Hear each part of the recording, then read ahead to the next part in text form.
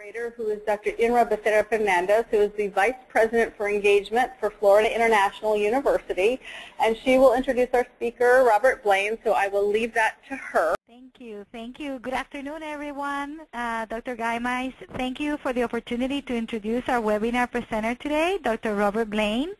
Dr. Blaine is currently serving as a special assistant to the provost for cyber learning at Jackson State University and is also interim associate dean of the College of Liberal Arts, professor of music and director of orchestral studies at Jackson State, director of the Global Education through Analytical Reasoning, also known as GEAR, the artistic director of the Mississippi Youth Symphony, and host of the television program Music Art on the Colors Network in Jackson, Mississippi. Uh, Dr. Blaine, I don't know how you do these many jobs. I thought I had a lot of jobs, but I think you beat me. Um, Dr. Blaine is an internationally known conductor and soloist and has led ensembles in China, Central America, the Caribbean, and throughout North America. Dr. Blaine is an Apple Distinguished Educator, which makes him part of a group of educational leaders that are using Apple products to do extraordinary things both in and beyond the classroom. Which brings us to the topic of today's presentation. In fall 2012, Jackson State University implemented its iPad scholarship program, which gave an iPad to each entering freshman. I am so excited to hear about this program, and so without further hesitation, please welcome Dr. Robert Blaine. Dr. Blaine, on to you. Thank you very much. Um, I am going to um, talk a little bit about our iPad initiative here at the university and um, also give you some kind of insight into what we're doing um, in the future with our program. So I think I have control of the screen now. And you do, Robert. Great. So um, we started our initiative um, that actually about four years ago. And our program is called, um, we're actually looking at how institutional transformation, how do we change the nature of what we do at the university. And so um, when we first started, we actually started as a part of um, reaccreditation. Um, I was the uh, QEP director for our university, and um, we first started as part of the as part of the quality enhancement plan. Um, we the first thing that we wanted to do was look at a program that focused on student learning objectives and thinking skills. Um, fundamental skills, first looking at reading, writing, speaking, and listening, and then higher level thinking skills, analytical reasoning skills, the, the way that students start to look above discipline material and begin to make the connections between the disciplines. And so what we quickly realized was that we were asking, I'm going backwards here, a really fundamental question, which is what's the role of our institution in a world where information is ubiquitous? When information is everywhere, how does what's the how does the role of higher education change? And so part of the quality enhancement plan, as I said before, focused on these student learning objectives, foundational skills and higher level thinking skills. So the first thing that we had to do was look at teaching, um, what we do with our faculty and what our faculty do in the classroom. And so we had to give them the requisite skills in order to be able to um, answer this question, um, this big question that we were asking. And so we developed a summer seminar called GIFTS, the Global Inquiry Faculty Teaching Seminar. And in this seminar, I brought faculty members in for um, one complete summer session. So they were working for a month from 8 o'clock in the morning till 4 o'clock in the afternoon. And we used a set of global questions, um, what we called analytical exercises, these large questions about the world that were very analytical in nature, and we used them as the framework to talk about the material in the discipline. So um, you can look at world water shortages, but you can look at that from the standpoint of the art that's created from it. You can look at the sociology of it. You can look at the uh, mathematics of what they're doing to try and find water in places. You can talk about the history of it, what's happened in the world. Um, uh, all of these different ways of looking at one topic that give you each one gives you a different perspective of the topic, and when you look at the topic in whole, it gives you a, a better picture of the whole pic, of the of the whole idea, the whole topic. And so that was the step to move us towards those higher level thinking process processes, those analytical, um, analytical the analytical process and analytical thinking. So um, what the faculty did during this GIFT seminar was that they actually produced their own textbook. They redeveloped their course based on our two student learning objectives, and they produced their own digital textbook. Um, and so we focused on very high quality content that was based on our curricular goals. Um, and then once the faculty implemented their newly developed curriculum in the classroom, that became known as GEAR, Global Education Through Analytical Reasoning. And this was all, again, part of our um, QEP, um, part of a reaffirmation, part of the quality enhancement plan. And so when we began to um, institute this curriculum, uh, this was four years ago. So when we put it into the classroom, we were using a bring your own device strategy, a BYOD strategy. And what that meant for us was that we had some students that had smartphones that they could use to had enough memory to hold these digital books that we were producing. And then we had some, maybe one or two students in a class that actually had an iPad because they were brand, brand new then. Um, we had a bunch of students that, if you remember back, had those old flip phones that didn't have enough memory to hold the book on it. So we would house the book on an external website and the students would link to the book during class. And then we had some students that had absolutely nothing. So we handed them a paper copy of the text and um, of course, the paper copy had none of the ways that we were trying to expand the curriculum. So these digital books had um, external web links, they had embedded video, they had all of these ways that we were working to expand the curriculum. And what we began to see was that we saw um, analytical reasoning scores go up across the board by a measure of a little bit over 16%. But if you look at the right side of the graph, those are represented by students that were um, that actually had access to the technology, so they could really take advantage of the um, of the increases that we were making in the curriculum. And the ones on the left are actually represented more by students who didn't have the technology to be able to um, to be able to really take advantage of this learning, uh, this increased learning environment. And so what we saw was that we were starting to create our own digital divide. We were giving to the haves, and we were increasing learning outcomes for the students that have, and then the have-nots were getting left behind.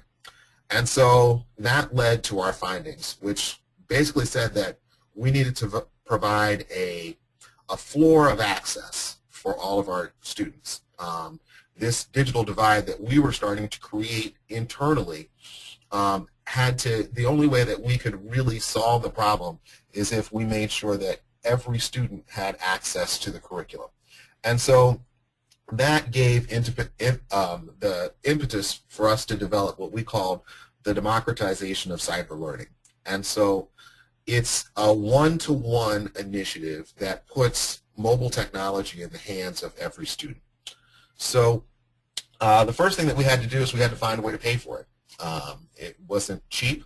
And um, so, and also state law here demands that we can't purchase technology with state funds and then give it to students. Uh, there was a university uh, here that tried to do something like that with uh, some other devices, and the president and provost had to step down. So we were not going to get caught up in that. So what we did was we created, we have this partnership with uh, the Mississippi E-Center, which is a private 501c, and it exists for the benefit of the university, but it's private funds. So um, that facility is an entrepreneurship mall, and it, they um, they turn a profit every year. And so we um, partnered with the E-Center.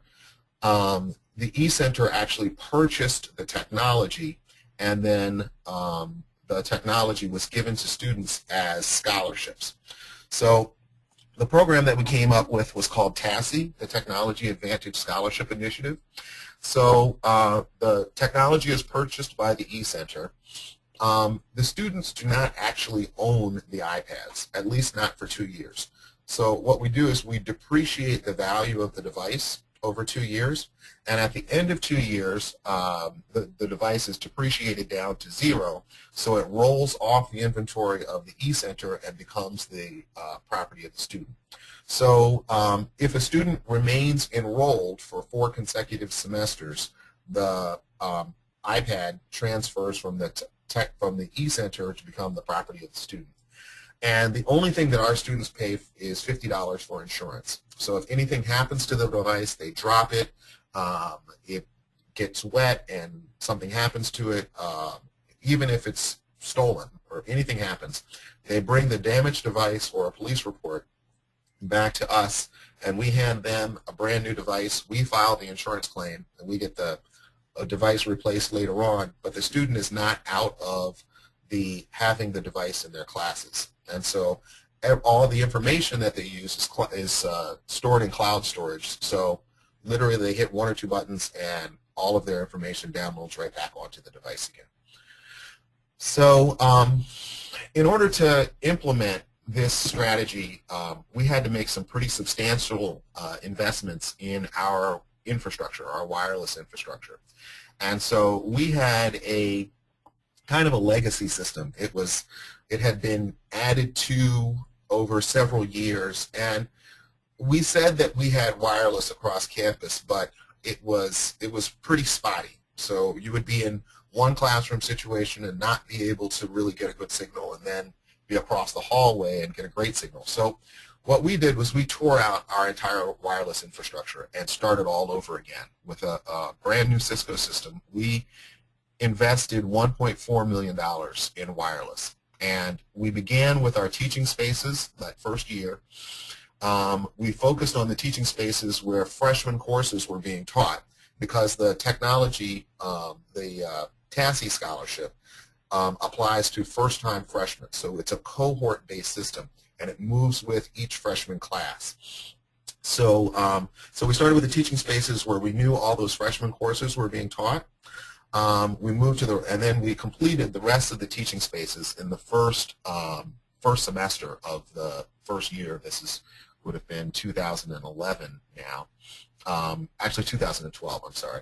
Then uh, we moved to the living spaces because once you have students working this way, they have to be able to access from their dorm rooms. So um, all the dorms now have um, ubiquitous access. And then finally, uh, the green spaces around campus. So now a student can get uh, complete wireless anywhere, um, anywhere on campus. Um, and then we had to expand what we were doing uh, from GIFTS. GIFTS brought in 12 to 15 faculty members per semester, per summer rather. So um, with GIFTS over the past four years, we've done a little bit over 40 faculty members, but we have over 500 faculty members in the university. So once we started with the complete freshman class, um, we had to have a new strategy for how we were going to teach with technology. And so we started this new program with all of the faculty teaching freshman courses, the, the Gen Ed Core. So we were looking at five courses that we focused on. First, University Success. Every incoming freshman takes this course. Uh, Math 111, English 104, English Literature, History 101, and Biology 101. So those were the five Gen Ed core courses that we focused on. All of the faculty um, teaching those courses, it was a little bit, uh, just under 100 faculty members. Uh, we purchased iPads for, and they all went through uh, teaching with technology training. And the, each one of the faculty members had to write what we called their teaching with technology strategy. We didn't want to be, I didn't want to be prescriptive and tell faculty members how they had to teach. Um, I gave them a set of teaching tools that they could use, and they could pick and choose, um, but they had to say and describe how they were going to use that in their um, in their teaching in the classroom. And that teaching with technology strategy focused on student engagement expansion of the classroom learning environment, integration and development of primary source material, and most importantly, the extension of teaching practices that moved beyond the traditional lecture format. One of the things that we really wanted to focus on was an environment of active learning in the classroom and using technology as a vehicle to have students doing hands-on learning rather than moving from the old uh, example of what I like to call preaching and sleeping. So one person preaching and a, a bunch of people sleeping. So um, once we did that, we started um, to move to some other initiatives. So the first thing that we looked at was a pilot with EDUCAUSE, and that was in the spring of uh, last year. Uh, what we did was we piloted uh, using digital textbooks, embedding them in the LMS that we use, the Learning Management System, which is Blackboard here. So um, the EDUCAUSE pilot took five courses and um, a thousand students. And what we did was we pre-purchased textbooks for all of those courses and embedded those into Blackboard. So what happened was that as soon as a student came to class on the first day, they went to their Blackboard course listing, um, they pressed one book and their textbook downloaded automatically onto their iPad. And one of the issues that we had with uh, students is that we have over 90% of our students that are on some kind of financial aid. And what that means for us is that students will often wait until they receive refund checks to purchase materials for classes. Um, our textbook costs are, are pretty high. So those five gen ed courses that I was talking about, um, the textbook cost alone for those five courses is over $1,200 for students. And that presents a, a pretty substantial barrier for our students. And so what we've seen in the data shows for uh, for most of our students is that we see really low levels of student investment in the beginning of courses, generally because they don't have the materials, they're borrowing, sharing, trying to get access to the information, but they really don't have their own. And then once students purchase materials, which is which can be as long as three or four weeks into the semester, really, really high rates of student investments where students are working very hard to try and now learn a semester's worth of material in basically half a semester. So with the EDUCAUSE pilot, we wanted to see what would happen if we embedded all the materials into the course from the very first day. This was part of that democratization. So we're looking at what happens when everyone has access to the technology, what happens when everyone has access to the content. And um, what we saw with the Educa EDUCAUSE pilot was that in the first half of the semester, with the same professor teaching a similar, the same course and a similar cohort of students, we saw a seven-point rise in per student performance in the class. So if a kid was getting a 75 in the class, um, now they were getting an 82. So that's almost a full grade point. So we felt that that was substantial and something that we really uh, that we were really excited about. Um, the other thing is that we began to share some of our results with the rest of the country. And so last year we had our first annual Cyber Learning Summit, and we'll be hosting another Cyber Learning Summit, um, actually February 6th and 7th. Um, so uh, again, we'll be sharing um, our results with the rest of the world. And then we started to look at this whole idea of digital publishing and looking at partnerships that we could use so that we could begin to kind of drive the conversation of what how the content is being used and specifically what the content um, how the content is being dr driven into the courses. So um, all of this led to the development of our what we consider to be our future learning culture. And our vision is that we want to see a complete digital ecosystem. Um, when, this is part of answering that basic question, what's the role of the institution in an environment where information is ubiquitous. So when information is everywhere, we have to move from being a gatekeeper of information to rather fostering uh, skills where students learn how to use existing information to create new knowledge. And so Uh, part of that is through technology. Um, we have our one-to-one -one mobile learning platform. Um, looking at digital content, and I'll talk about this a little bit um, more specifically with our uh, with our, our strategy that we're using, and um, new teaching and learning spaces, and I'll talk about this a little bit more um, as well. Innovate is a new space that we are opening uh, next week, actually. Um, it is our one-stop shop for the creation and dissemination of all digital tools in the university. And um, I'll give you a little bit more about that a little bit later on. Our, the, everything about our program has to be about a curricular focus. So really looking at our focus on student learning objectives and also faculty evaluation. So that uh, teaching with technology strategy that faculty members wrote now becomes a part of their evaluation process. So they are writing a predictive instrument that starts to talk about how they will use this to be able to affect these student learning outcomes. And then during their evaluation, they're evaluated on their implementation of that strategy. And um, the, the final thing is that what we want to see is an enhanced learning culture. We want to see a learning culture that's inquiry-based, something that's very, very student-centered, that fosters intellectual curiosity and encourages lifelong learning. And so all of that is the way that we are changing direction and trying to really develop a 21st century learning community at Jackson State University. So um, I am going to switch now uh, to another presentation. And this is kind of looking at our plan of where do we move from here. So um, as you know, as I talked about before, cyber learning has basically three drivers. We have um, cyber learning, which is through the provost office. That's the part that, that I'm uh, in charge of. We have our partnership with the Mississippi E-Center, um, and then also information te technology. Um, so those three drivers actually turn into um, outputs that, that can happen in the classroom. So the Mississippi E-Center allows us to have a one-to-one -one initiative. Informat information technology gives the technology infrastructure so that we can really drive the program.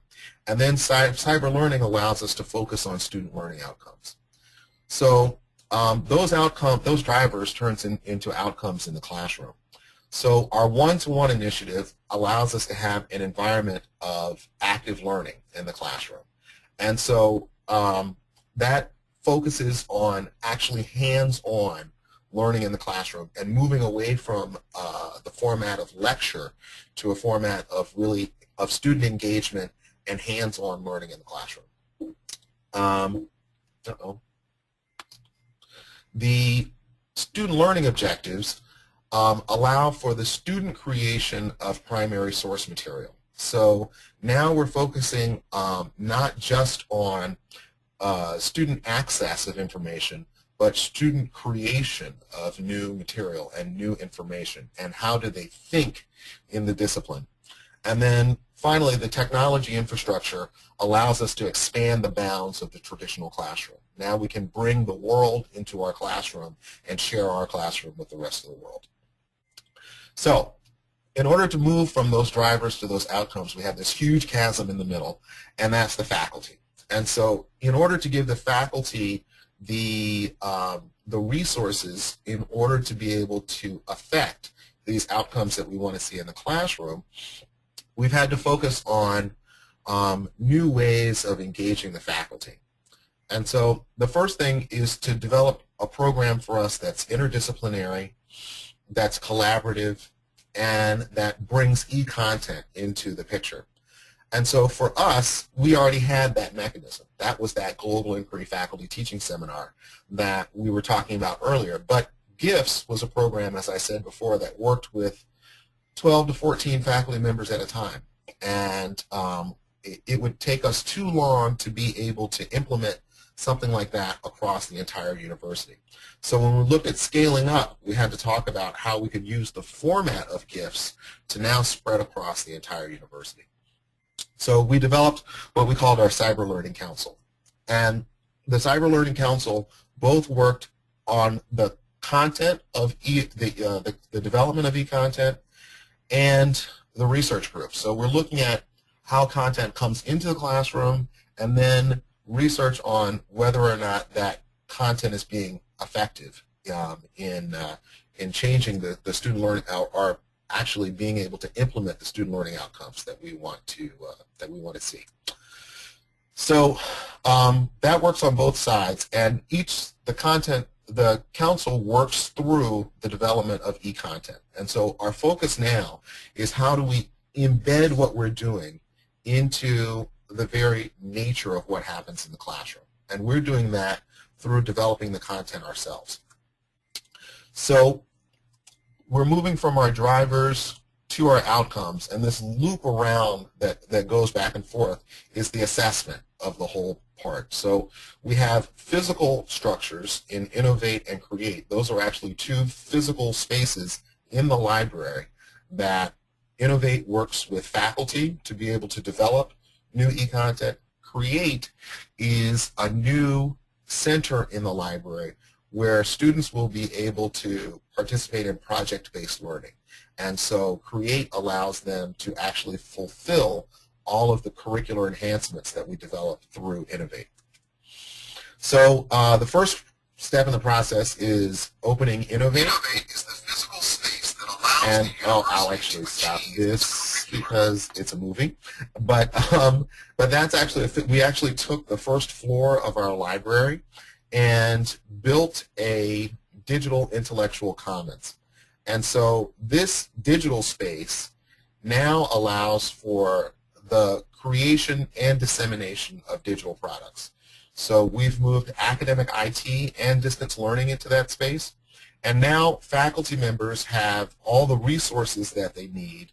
They have all of the equipment. They have all of the staffing to be able to develop any kind of digital product that they can imagine uh, for their courses. Uh, my pitch to the faculty was all you need is a bad idea because faculty members would come to me and say, I would love to do a flipped classroom. I would love to podcast all my video, uh, podcast all my lectures. I would love to do all of these things in my class, but I don't have the resources to do it. I don't have the equipment to do it. I don't have the time to do it. So, and they would finally say, and, you know, I'm just not sure that it's a great idea in the first place. Maybe it's not such a great idea. And I, my response to them is all you need is a bad idea. You come to this place, you bring your idea, you have all of the faculty, all of the staffing, you have all the equipment, you have all the technology, and they'll take your idea and turn it into a fantastic idea. So now we're providing faculty members with the resources that they need so that now they can take advantage uh, of the expectations of, of this increased and heightened learning environment.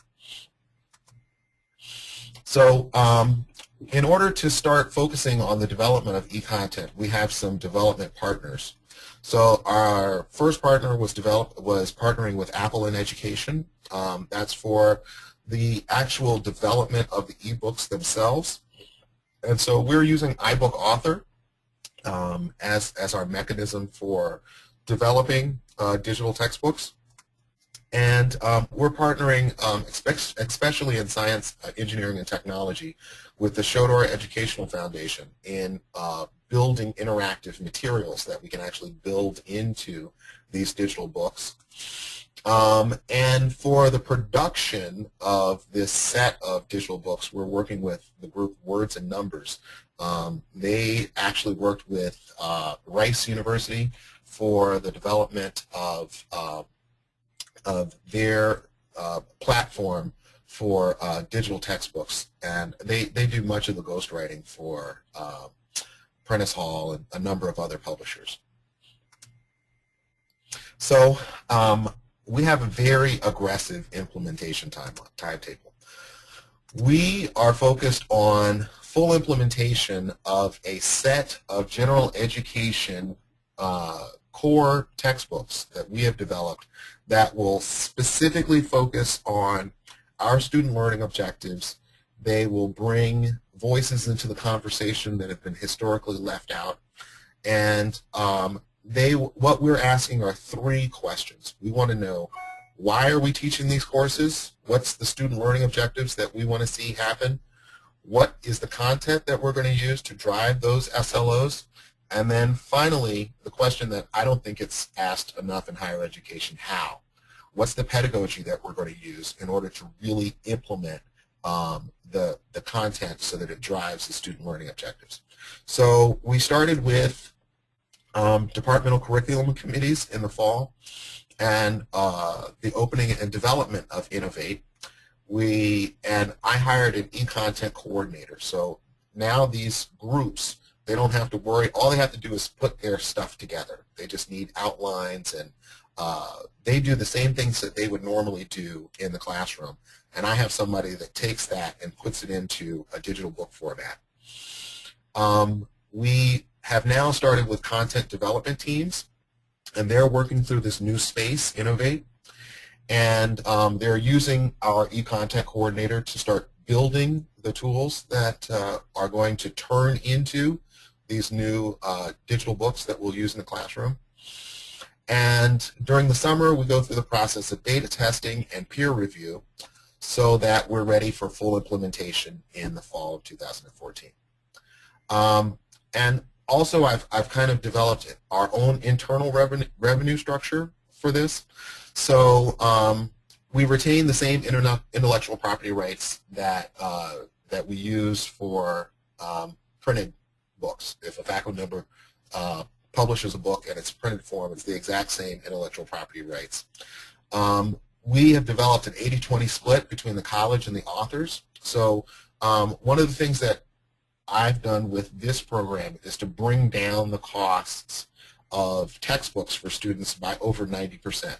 So um, as I was talking about, those five gen ed courses that freshmen take during their freshman years, the cost of textbooks are over $1,200.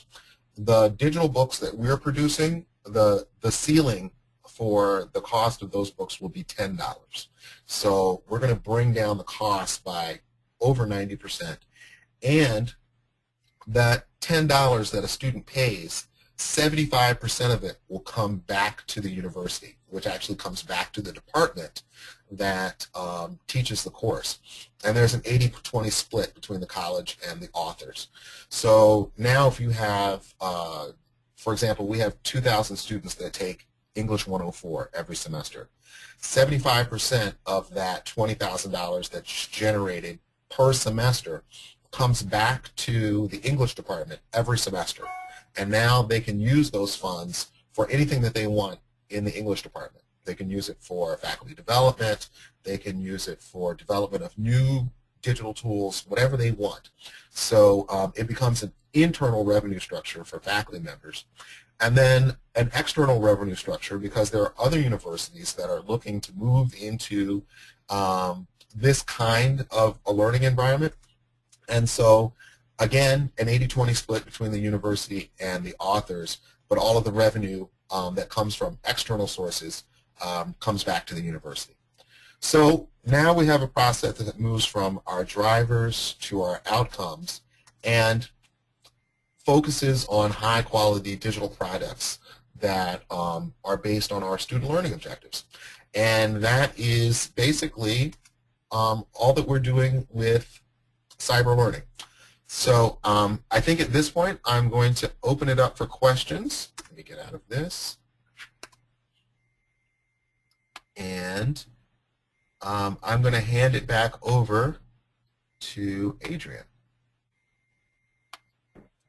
Okay, Robert, this is Sherry. Thank you so much for a wonderful presentation. It was um, it's a very exciting initiative, and you presented it in such clear steps. I'm, I'm, I'm a little overwhelmed, actually. Uh, fantastic. So I'm also going to open it up to Irma. Um, and what I'm going to do now is um, invite our uh, attendees, if you have any questions, please just write them in the um, chat box in the in the corner. Do we have? Um, do you see it um, in the bottom? Uh, However, uh, there's a little arrow on the bottom. Just make sure it's sent to everybody, or at least uh, us. But with that, what I'm going to do is I'm going to start with a question, if, you, if it's then, you know, take, because uh, I actually I've got quite a few of them, and then I'll also open Irma's um, as our moderator uh, to, to, to, to work with you all. So the first one is, like I said, it was uh, everything looked wonderful and smooth, but I do need to ask you if you actually faced or faced any challenges along the way and how you overcame that. Sure. Um, well, I, I, actually, beginning this, I thought that I was going to be faced with some uh, hesitancy in the faculty, um, looking at uh, developing kind of a new um, learning culture at the university. Um, but once, because of the way that we rolled out our strategy, because it was cohort-based, and we were moving with one cohort at a time, we actually implemented in a way that um, uh, actually uh, what I call it is the why not me syndrome. So because we uh, implemented with 100 faculty members at a time, and we started with the faculty members that teach those five gen ed courses, what I what happened was that I had faculty members that came from all over the university saying, oh, well, I teach another freshman course as well. And I had to say, well, we're not really start, we're starting with these five and then we're spreading from there. So what it did was it actually um, built a little bit of a system where we had a cohort of faculty members that were um, almost being seen as our all-stars. And this, these are ways that these people are enhancing their classroom environment. And um, what it did was it created almost a, a competitive environment where other faculty members uh, were wanted to be a part of that. So um, it has um, led to some very exciting things for us. Um, this year we were named as um, an Apple Distinguished School, one of only five in the country. And um, that has given our program lots of prestige. We've got lots of outside attention. And um, it's given more impetus for our faculty to um, get on board and to really become a part of the process. Um, the other thing is that uh, that the the the the students actually become the drivers in this kind of environment. And so what that means is that faculty members have to move from being the uh, sage on the stage with all the person with all the information now to being a facilitator of, of student learning. And it's a very different process for faculty members. So again, providing the resources for faculty members to transition in their teaching so that they can lead students through this very kind of inquiry-based, um, active learning, project learning um, environment. Um, part of that has been building the resources for faculty members to be able to use those tools. Um, do you want me to chime in, uh, Sherry, with some questions as well? Yes, um, actually, let me ask you a question. Irma, can you see, we actually have a number of questions that have been generated. Can you see them, or are they only showing up on our side? I know Adrian started to transfer them over into the wide chat box, but I want to see if you can do it. Can you I see them? Only, I can only see the one, how are you staffing Innovate? That's the only okay. one that I can see. Yeah. Okay, so why don't we do, why don't you, if it makes sense, rather than typing all the new questions in, why don't I pass it to you to ask a question, and then I'll take it back and ask the questions that have come to us. Okay. Is that perfect. all right? Sounds okay? great. great. And that way, um, I'll raise some questions also to get the, everybody's juices flowing in the meantime. So um, I was really uh, very interested in how you've built the, a revenue model that is encouraging this entrepreneurial participation for the faculty, which was one of my questions. How do you incentivize faculty participation? So actually, I think the existence of the revenue model kind of answers that question. But are some of the professors considering perhaps publishing this material even as a, a collection of, uh, of materials, maybe uh, as a monograph, uh, kind of like a, um, a research monograph in terms of how you can uh, put forward an initiative of this sort. You know, right. I can see that the other universities would also be interested in the material, so not only within the university but also outside the university. Absolutely. And um, one of the because we have this large initiative that we're focused on right now with the general education core, we're actually looking at 10 courses for the fall that we're focusing on developing content for. But we still have the same process that we've had going along the whole time with the Global Inquiry Faculty Teaching Seminar. And so that's the environment where faculty members can come in. Um, I actually pay them a summer school salary, so they're, they're paid to work for one summer session to develop this content that they're going to use in their course. And it can be in the form of a monograph, it can be in the form of a digital textbook. The, the whole point of it, though, is that it's a way of engaging students through active learning in the classroom, through using technology to expand the bounds of the traditional course, and to have students creating their own primary source material. So um, as long as they're within those three big goals, um, our three pillars, um, we have faculty members that are, that are moving in that direction, both on an independent basis and then as these large kind of departmental initiatives as well. That's phenomenal. Uh, one question, Robert. How do you ensure the quality of the e-books right. that are generated? Yeah. So everything is peer reviewed. Um, oh, okay. We had faculty members, the faculty members that came through GIFTS, the, the Global Inquiry Faculty Teaching Seminar, um, once they finished their book, they finished during the second summer session. And for us, that's uh, they they go through the months of July and August. Um, classes start for us at the end of August, so they actually beta test their book in their class and go through the peer review process at the same time. Mm-hmm. One of the one of the benefits of the digital textbooks are that as we make changes to the book, um, the faculty make, member can make changes to their book, and it actually updates all of the books that are in that their students have. So we can make revisions on the fly, and it's a dynamic system. So now all of the, the textbooks that are in the classroom are being revised at the same time as well. So, um, so what that means is that um, as the faculty member is beta testing their book, they're, they're going through the peer review process at the same time. That usually lasts for two semesters, and then at the end of that period, they come up for um, publish publication. And we actually submit the book for publication just like a printed book. It, um, it gets an ISBN number, just like a printed book, and it counts for tenure and promotion on our side. Oh, so now, yeah, so now it becomes an incentive for faculty members when you start to look at the whole tenure and promotion uh, process as, as, well. Because it's the same process as, as writing a, a book that you would um, for any other classroom system. It's just that now it's in a digital format. Yeah, I think that that is a phenomenal outcome as well because essentially all your faculty, including teaching faculty, are now even more engaged in, in publishing uh, mm-hmm. their uh, materials and and I think uh, that that has to have a tremendous positive impact and the fact that you're recognizing it in the tenure and promotion, I think it's phenomenal. Uh, there was a question from the audience, how are you staffing Innovate? Um, we had the, the, the system that we had before was we had an office of distance learning and then had a director and a staff that was in one part of campus. And then we had an, um, an office of what we call academic IT that was actually in a separate um, campus uh, that has its own director and staff.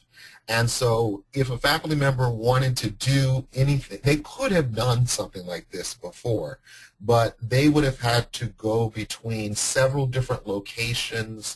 They would have had to find the people that they needed. It was the, the system that we had actually provided barriers, hindrances to the process of uh, being able to provide the content that we wanted. So what we did was actually we just took the staff from distance learning and academic IT, built the infrastructure for Innovate, and then moved them into that space. So it was resources that we already had. We just wanted to have a more efficient way of using it so that we developed what I like to call a one-stop shop.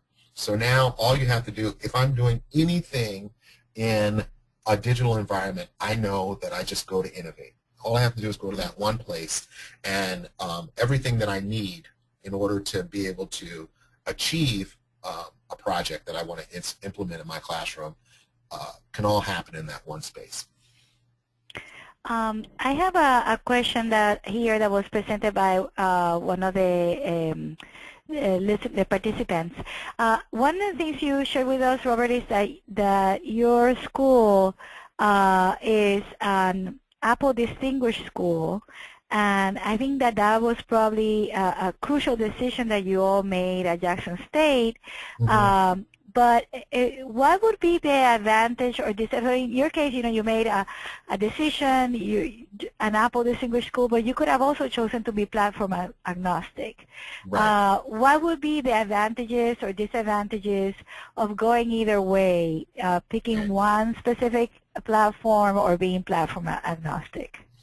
The, the reason for us to use one specific platform goes all the way back to um, the first implementation that we used. And um, with the, the BYOD strategy that we had, that was a platform agnostic um, uh, implementation. And what that meant was that um, it really, um, we, we were providing, what we did was we, we set up, as I said before, our own digital divide. Because students were using their own devices, we were trying, the first books that we used were EPUBs. They were um, it, they were platform agnostic. You could use them in any platform, and um, but because we were using students' resources, um, we saw that we were actually making the system unequal for students, and so when we said that we wanted to provide a democratic environment, we had to decide one platform that was going to be the overall platform for everything that we did because we wanted to be able to provide a platform where we could provide every single student with the same amount of access. That meant that they all had to be able to have the same kinds of devices. And then also an environment where we could develop content that we knew was going to work on all the devices that we had. And so for us, the strategy was to pick a platform and to run with it. So um, that was really our reasoning for using one platform. Um, at the time that we implemented, um, Apple was the biggest player out there, and they were the um, one of the first players to really get into educational learning environments um, with um, all of the tools that they had available in iTunes U. And so that provided a big impetus for us to use that platform. Yeah, certainly made it a lot easier. Would you be willing, uh, Robert, to share the structure of your GIFT seminar? Some of our participants would like to learn a little bit more about that. Sure. Um, so the way that GIFTS works is it's a um, it's a one-month seminar. Uh, faculty members are working. They're in class actually from Monday through Thursday, and then Friday is a writing day. And what I do is I structure the seminar so that the first week we actually work on um, uh, educational strategy. Um, uh, so we develop a scaffolding lesson plan for their um, for their course. And I what I do is I bring in facilitators from all over the country. So uh, for the past few years, I've brought in uh, Rebecca Nowacek from uh, Marquette University, and she's um, her research interest is looking at learning transfer, how students take information that they have in one setting and transfer it to another. And so, um, and we, and the, the, the faculty members, before GIFT starts, we have a pretty substantial uh, reading list that they have to complete. And then they have a reading journal that they, uh, uh, that's kind of a blog site for the course where they're talking about how this reading affects their understanding of curriculum and how that would work in their course.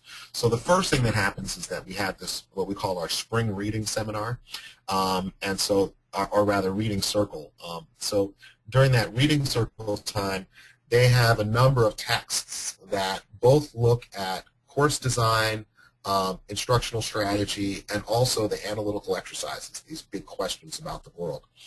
And so they kind of had an understanding or a broad understanding of maybe how all of these pieces might work in their course by the time they arrive at GIFTS. And then during the first week, we develop the structure, um, and I bring in a facilitate. I bring in a couple of facilitators during that first week. They'll they'll be in sessions with the facilitators. They'll ask questions, and um, what I try and do is I set try to set up an environment of um, uh, intellectual jousting. I like to call it. We are really kind of battling with some of these issues and what the student learning outcomes mean and how that manifests itself in our courses. And so it becomes a very active um, uh, co collaborative process with the faculty. And so they go through each week and each week has a different topic. So we'll, the second week we'll start to focus on analytical exercises. The third week we'll actually look at um, book design and we'll start plugging in the pieces of their books um, and, and also start to look at um, uh, learning tools that are built into the book. So um, some virtual learning tools. Um, in iBook Author, they're called widgets, but they're basically learning tools that can focus on a big concept that students might have a difficult time understanding, and this learning tool brings it into a, a really kind of focused way of understanding. And, um, and then uh, each week um, on the Thursday, uh, the Thursday class day, faculty members present for each other. And so they give a presentation of everything that they're working on. And so it, again, becomes a collaborative process because now the faculty members are discussing with each other and um, they end up learning from each other. So the English professor learns from the biology professor and the biology professor learns from the sociology professor and, the, and it becomes this very um, collaborative and rich environment where faculty members that might have been kind of uh, insulated in one department and don't know people outside of, of their discipline, um, they get all of this interaction uh, between the rest of the disciplines, and it becomes a very rich learning environment for the faculty as well. That's wonderful. Um, one of the participants wanted to hear a little bit more about how did you address accessibility of the technology mm. during the training for instructors and students? Right. So one uh, another reason that we went with Apple as a platform was because um, accessibility is built into um, the uh, the Apple infrastructure. So um, one of the things that we do is, uh, as a part of the book, is we make sure that all of the accessibility tools are built into the book. So um, we have books that blind students can use, deaf students can use, um, it, if you um, have some disability, motor uh, motor disability, um, all of those all of those tools are actually built into the device, and so um, it then means that all of the content that we develop is accessible for students on on on a number of different levels. Mm -hmm, mm -hmm. That's wonderful. Um, Sherry, do you have any other questions that you would like to um, ask uh, Robert? Actually, uh, just one more. I mean, yeah, unless you have, we, I think we have time for one more question. One more, I, I think, yeah. Yeah, so, and I think we've gone through the number of the questions we had, people asked overlapping ones, and we just tried to combine them. Um, mm -hmm. So uh, the, the only last question I had is, I have to say, I'm so impressed at how fast you're moving this. Mm -hmm. and, uh, and, any insights on how to um, move a university faster? Right.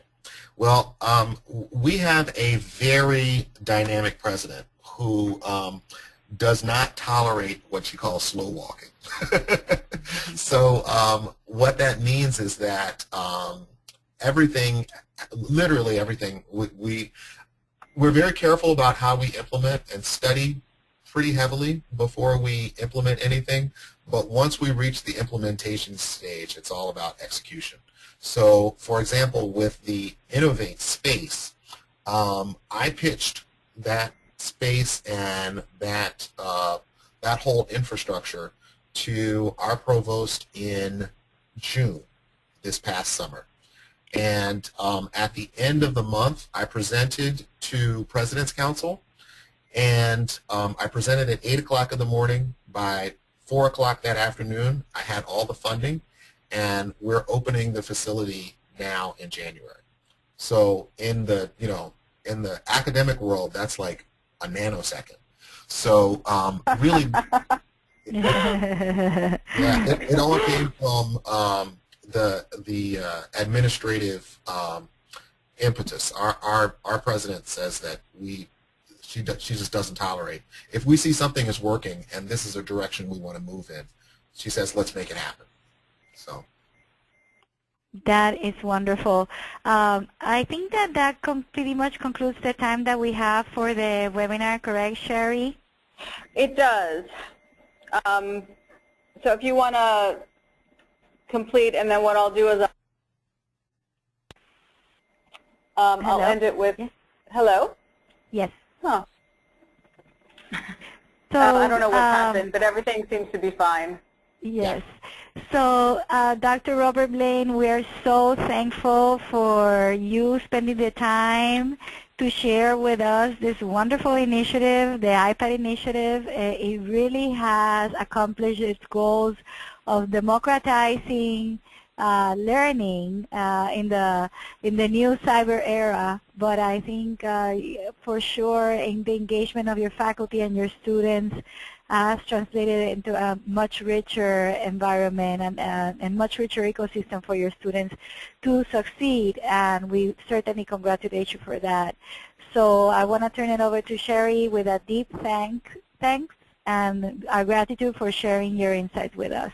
Thank you. You're very welcome. Yeah, Mm-hmm. yeah I'll, I'll, I'll echo Irma's gratitude. I think you really had a fabulous presentation. I mean, you started with the big picture and the big question that we're all dealing with and really scoped out how you addressed it, what you did, how you thought about it. I mean, it's a it's a literally a fantastic roadmap for anyone else thinking of it. And and honestly, Robert, I think the name for your book is, you know, come with a bad idea. Um, but um, so with that, thank you. So I'll just end it with uh, I'll thank everyone for joining um, the webinar series, which is part of the USU Student Performance Strand at USU. We'll be having our next webinar at February 20, uh, February 28th at 1 o'clock, which is Building College Resilience through Supportive Message, Messaging.